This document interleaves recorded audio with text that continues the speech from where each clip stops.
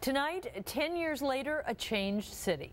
Residents who grew up in Cincinnati's toughest neighborhoods decide to make their city safer by becoming police officers. Here's 9 News anchor Brendan Keefe. Brendan? Clyde and Carroll in 2001, our city was forced to look itself in the mirror. But African American police officers who grew up in the neighborhoods they were also patrolling saw both sides of the conflict in their own reflection.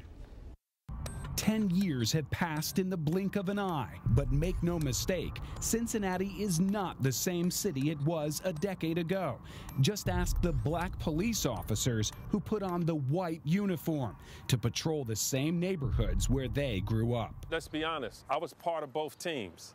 I couldn't escape my neighborhood. I went to I went to church in the neighborhood. I grew up in the neighborhood. I lived I still live in the city of Cincinnati.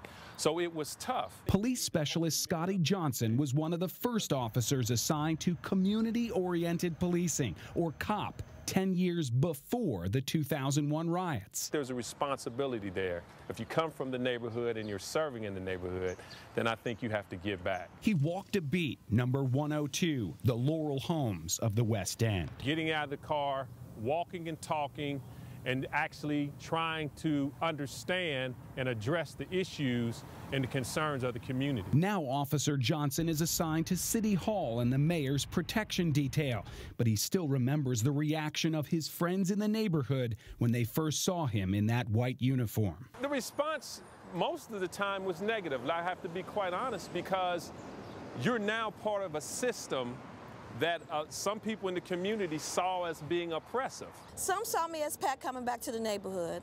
Some saw me as a police officer, but not connected to the police department. Officer Pat Scott grew up in the Laurel Homes. After 23 years in the projects, she put on the badge of the Cincinnati Police Department and headed right back home. When I became a police officer, I really wanted to make a difference.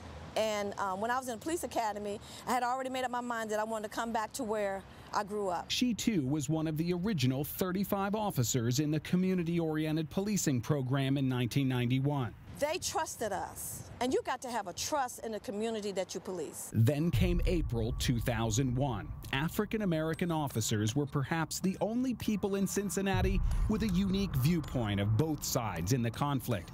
Officer Johnson was president of the Sentinels, representing black police officers. I called a press conference and offered an apology to the citizens of Cincinnati for not being open on why we do what we do.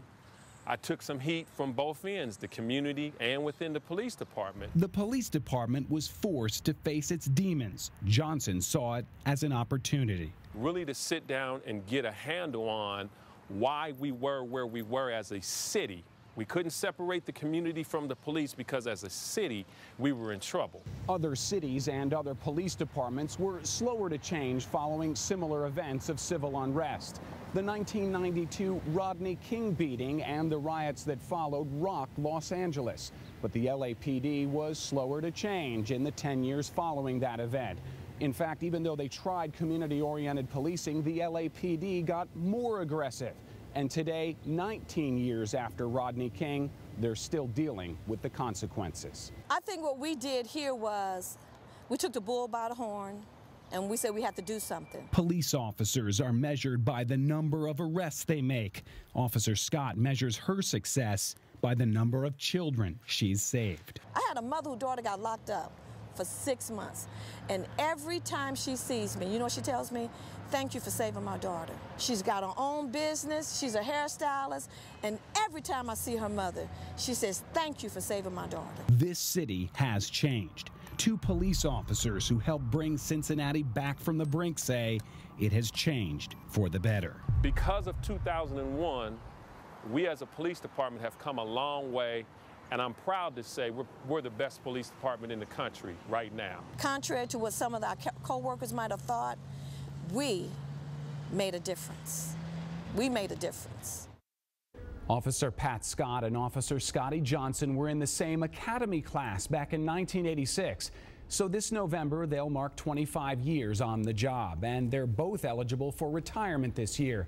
Scotty Johnson says he's not going anywhere because the city and its police department are still changing.